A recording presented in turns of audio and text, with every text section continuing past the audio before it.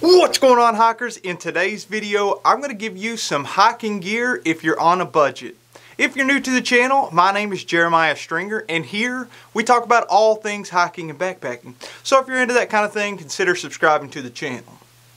Now, all these are going to be linked in the description below if there's anything you want to check out more specifics on, but we're going to kind of do an overview of a number of items. So let's start with the first thing. I'm going to talk about my cook kit and some ways that you could save some money and get some gear for cheap.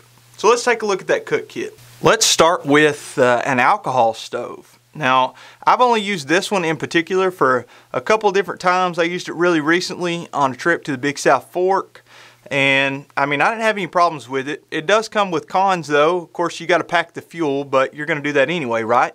And then uh, secondly, this is made out of a beer can. And Taz on my Foothills Trail hike gave my wife and I both one.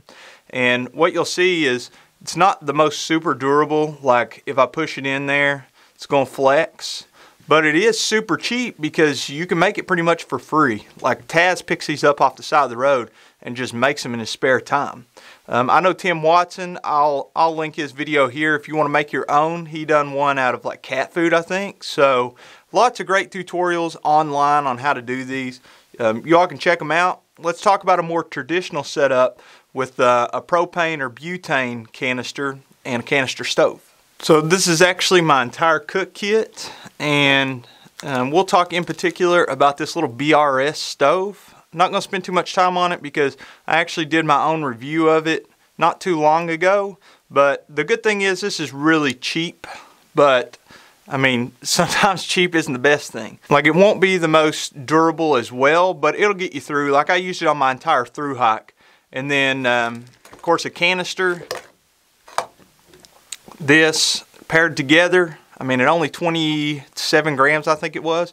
This is a, a, major buy. This is this is super cheap, super budget friendly. And if you're looking to get started and you're wanting a budget friendly stove, this would be my go-to. Now the con with this one is, um, if you can see there, the edges will let your pot slide off sometimes. So you got to make sure you're on level ground. And the way I do that is, I'll just put this on, of course, the fuel, and then whenever I sit it down, I'll put my pot of water on it before I light it and then if it looks level and it looks like it's not going to slide, I'm good to go. Because you can kind of see whenever the pot is sitting on top there, you can see if it's level or not because the water will be shifted.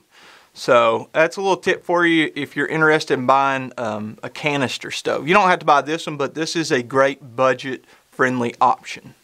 Um, also, the cook pot that I'm using, this is uh, a Stanco cook pot and it is also a great budget item because it's only like six or seven bucks on Amazon and it actually is a grease pot. John Kelly, JK is hiking. He texted me the other day and he's like, I didn't know you were using a grease pot the entire time whenever, you know, you you had your cook kit. And I was like, yep, man, learned that one from Dixie. That's It's a great one. So, yep, see that? grease pot. All right, let's move on to the, the next item. So the next item I'm going to talk about is tents. And you got to sleep somewhere when you're in the back country. Um, one that I've heard a lot about, and I actually saw it for the first time in person on a recent trip in the Big South Fork again. Josh was using it, and it is the Lanshan 2. It's two-person tent, which I would only use it as a one-person tent, to be honest. But I don't want to say it's a knockoff of the duplex, but it's a similar setup. And it uses two trekking poles, and you set it up, you guide out, it gives you a little bit more space, kind of like the duplex. And for less than $200, this is a great budget option, especially if you're just getting started, and it'll give you plenty of space. Now it's a two wall tent, which means it has an outer and an inner, and that's good news because um, you'll deal with less condensation, but it's bad news because it adds a little bit of extra weight. Now this tent in particular, it weighs approximately 2.5 pounds. So that's not super great, but that's a lot better than the tent I started with. Because I started with a three person tent and it weighed like five pounds. I was like, man, this is killing me. And then I wanted to give you a second option, which is one that I've been using whenever I go solo. Or when I say solo, I mean my wife's not in the tent with me. And it is the Six Moons Designs Lunar Solo. And this one in particular, it costs $200 and it weighs about 1.6 pounds.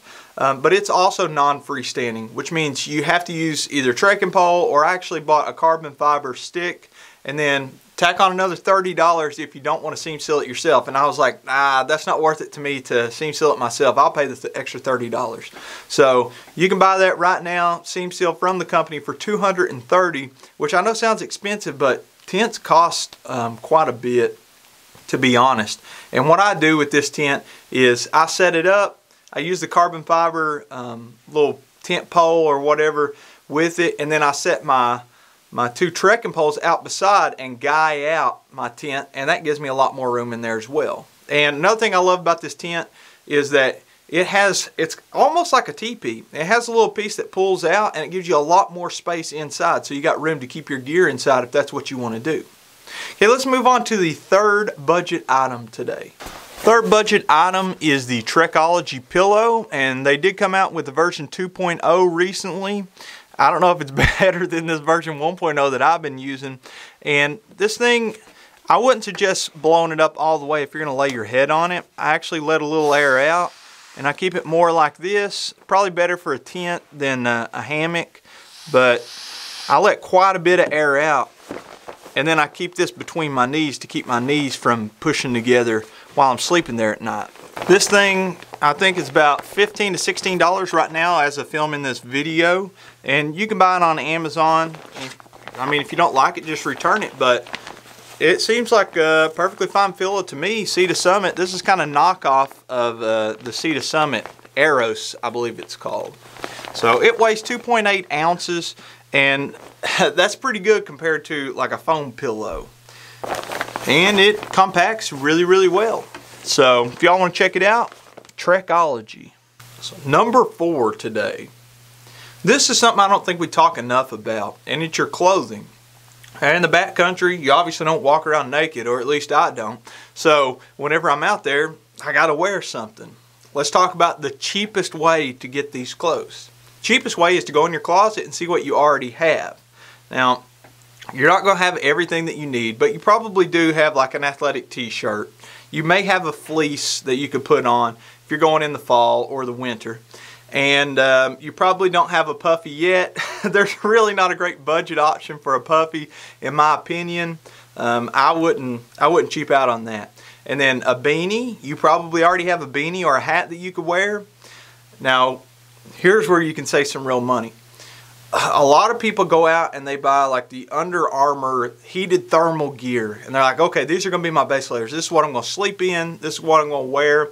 You know, if it's cold outside, you can do that and that's fine, but that's expensive. So the alternative is to go to your local thrift shop. For me, that's a Goodwill. And you can find lots of good clothing there, especially like my fleece. I paid three four dollars for a columbia fleece there. And a lot of times you can get pants like the synthetic bottoms the cargo pants or whatever. And if you're a man you can actually go into the women's section. Don't get caught up in um, you know which gender the clothing is supposed to be sold to. A lot of times and nathan shout out to you for giving me this idea. A lot of times the women will they'll go donate the leggings and that would make a perfect base layer for you you know especially if you're going during the uh, colder weather. So check out those thrift shops and see if y'all can find some clothing on the cheap. Let's talk about the next item on today's list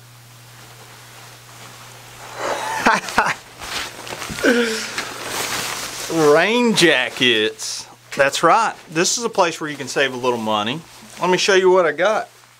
This is one step above the base version of the Frogg Toggs. Got these at Walmart for, I don't know, $25, $30, but it is only the rain jacket. I'm actually not a huge fan of the rain pants. Uh, most of the time, if I'm hiking and it's raining, my legs are going to get wet anyway, either through sweat or through the rain. But I do have quite a bit of experience with Frogg Toggs. Let me show you. Here's you uh, some rain pants. That is the basic Frogg Toggs. I've blown out the crotch of a couple of those. And here's your rain jacket. Here's you another rain jacket. Here's you another rain jacket. And how about another rain jacket? I know, a lot of rain jackets. Uh, you know, Frogg Toggs, they're great, except they're not the most super durable. So you're getting what you pay for here, but for only $20, you can buy a second pair versus, you know, a $200 rain jacket. You can buy a cheap $20 pair and get the, the pants and you can get the uh, rain jacket. But here's my number one gripe with them. Uh, it is a great budget option, but it's also cheap. You get some of that action going. So you can see my finger there. These get hung on branches very, very easily. So I would only suggest going with the, the Frogg Toggs if you're making sure you're staying on trail. If you're doing any backcountry off trailing, probably wouldn't be the best option for you. Probably be better to just go ahead and spend the money on um, you know a nicer set that isn't going to rip whenever they get caught on a twig. Now with that said, if you are somebody that plans on staying on trail, maybe you're doing the AT or maybe you're doing a pretty well maintained trail or you're just going out and getting out, um, the Frogg Toggs could be the perfect fit for you. Again, all these things are linked in the description, so if you want to know weights or um, prices or that kind of stuff, you can check that out. Now I need your help. I want you to comment and give me some other great budget options that you've been using in the backcountry. Tell me what you think about these products. If you've enjoyed the video, make sure you give me a like, subscribe, and kick the notification bell for the latest notifications. We'll see you in the next video.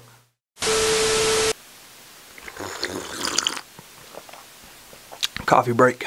Listen to that. Isn't that disgusting? doing a little on the fly research. Come on, baby. You can do it.